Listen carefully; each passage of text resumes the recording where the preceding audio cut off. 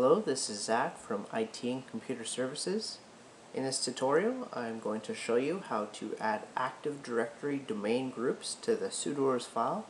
Uh, this is really helpful for administration. First thing you're going to need to do is open up a terminal window. Meanwhile, you need to note that we are logged in as a local account that has sudo privileges.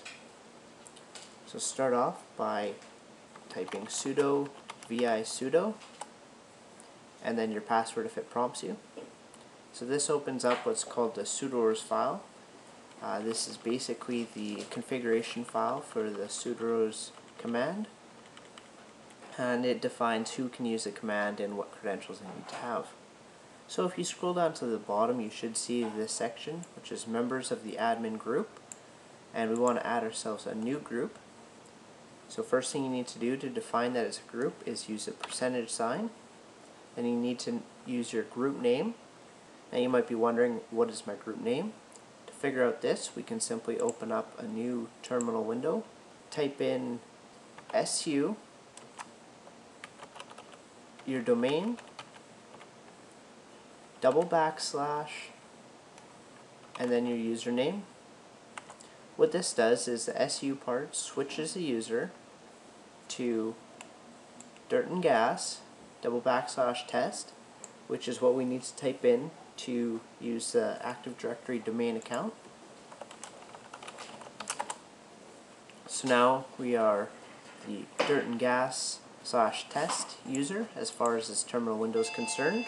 Type ID in your terminal and it'll display your user ID, your group ID, and then the groups that you're a part of.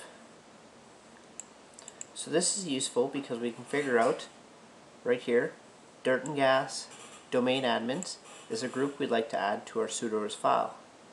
So what we need to do is take note of this and also that if there's any space in your group names that you should replace them with the circumflex.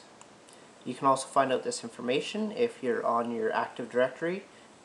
So then we can move on back over, type in the name of the domain, so dirt and gas, double backslash,